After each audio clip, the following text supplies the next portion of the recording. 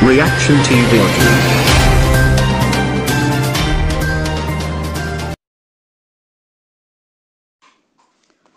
السلام علیکم ورحمۃ اللہ وبرکاتہ میں مطیع الرحمن عزیز گروپ ایڈیٹر پیغام مادر وطن دلی سے ریئیکشن ٹی وی اردو کی جانب سے حیدرآباد کے ایک اخبار کی کٹنگ سامعین کے لیے تمام ہیرا گروپ آف کمپنیز کے انویسٹرز کے لیے پیش کرنا چاہتا ہوں۔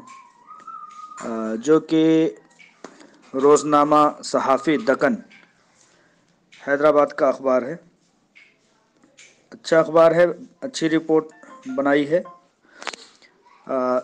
سرخی ہے، ہیڈنگ ہے نوہرا شیخ کیس کی تحقیقات، محکمہ انفورسمنٹ کے حوالے۔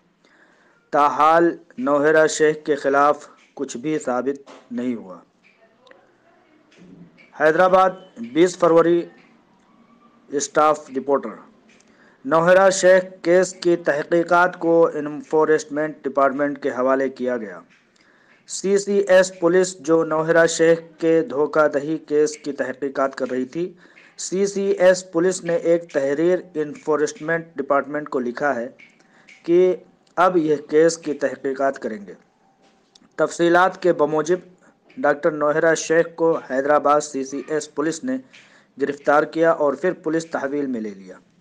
پھر ان کی ضمانت منظور ہو گئی۔ اس کے بعد ممبئی پولیس، پھر کوکٹ پلی بہرحال اور بھی مقامات کی پولیس نے انہیں گرفتار کیا۔ تاہم، نوہرا شیخ کے قبضہ سے کچھ بھی برآمد نہیں ہو سکا اور نہ تو نوہرا شیخ کے کتنے غمن کیے ہیں، اس کا کچھ پتہ چل سکا۔ ہاں پولیس نے اس بات کا پتہ ضرور چلایا ہے کہ ان کے ملازمین کتنے ہیں، ان کی جائیدادیں کتنی ہیں، اس کا پتہ لگا لیا ہے۔ تاہم، ان باتوں کا پولیس نے میڈیا کے سامنے اظہار نہیں کیا ہے۔ یہاں یہ کہنا بیجا نہ ہوگا کہ انفورسمنٹ ڈپارٹمنٹ کے عہدیداروں نے اس سے قبل سی سی ایس پولیس کے ساتھ نوہرا شیخ سوالات کیے گئے تھے اور کہا تھا کہ نوہرا شیخ کا کیس سمجھ میں نہیں آ رہا۔ نوہرا شیخ کے پیچھے کچھ لوگ ہیں جو انہیں پریشان کر رہے ہیں۔ یہ حیدرآباد کے ایک اخبار کا تراشا ہے، جسے آج مارکیٹ میں دیکھا جا سکتا ہے اس اخبار کو۔ اس میں ایک دو کالم یا تین کالم کی خبر شائع ہوئی ہے، جو کہ ہیرا گروپ آف کمپنیز کے انویسٹرز کے لیے بہت بڑی راحت کا سبب بن سکتی ہے۔ کیونکہ ابھی تک ممبئی کے تعلق سے سنا گیا تھا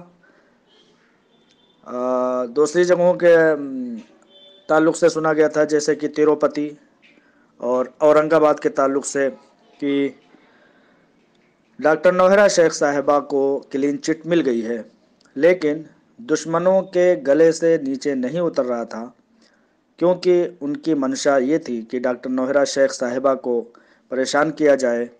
ایم آئی ایم کا، کی منشا یہ تھی کہ ڈاکٹر نوہرا شیخ صاحبہ کو بلیک میل کیا جائے۔ ایم آئی ایم کے ذریعہ خریدے گئے زر خرید غلاموں کی منشا یہ تھی کہ ان کے جائیدادوں کو ہڑپ کر لیا جائے۔ لیکن ان کی منشا نہیں چلنے پائی، کیونکہ ہندوستان ایک عظیم الشان ملک ہے۔ یہاں تمام ظلم و جبر پر قانون حاوی ہوتا ہے۔ تمام ہیرا گروپ کے انویسٹرز اور حامیوں کا یہی کہنا تھا کہ ہمیں قانون پر بھرپور بھروسہ ہے۔ انتظامیہ پر پورا بھروسہ ہے، انشاءاللہ تعالی دودھ کا دودھ، پانی کا پانی ہو جائے گا۔ آج حیدرآباد کے اخبار کی یہ کٹنگ دیکھ کر کے وہ بات یاد آتی ہے کہ واقعی میں ڈاکٹر نہرہ شیخ صاحبہ نے اپنے انٹرویو میں کہا تھا کہ میں صاف شفاف ہوں، کتنا بھی جانچ پڑتال کر لو، میں بری ہو کر کے باہر آؤں گی۔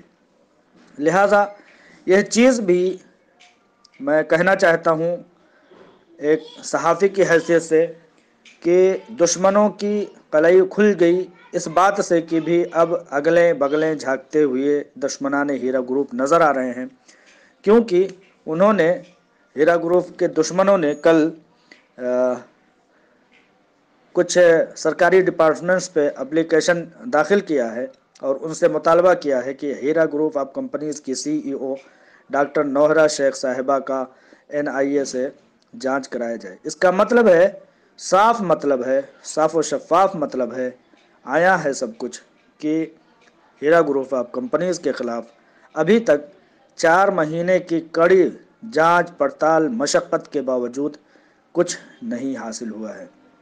میں ریئیکشن ٹی وی والوں کا شکر گزار ہوں کہ انہوں نے میری یہ بات، اخبار کا یہ تراشا پیش کیا اور تمام متعلقین ہیرا گروپ کو ہمیشہ اطمینان دلانے کے لیے چوبیسوں گھنٹے ریئیکشن ٹی وی والے سینا سفر رہ کر کے کام کرتے رہے۔ میں ریئیکشن ٹی وی اردو کا بہت بہت شکر گزار اور ممنون ہوں۔ السلام علیکم ورحمۃ اللہ وبرکاتہ۔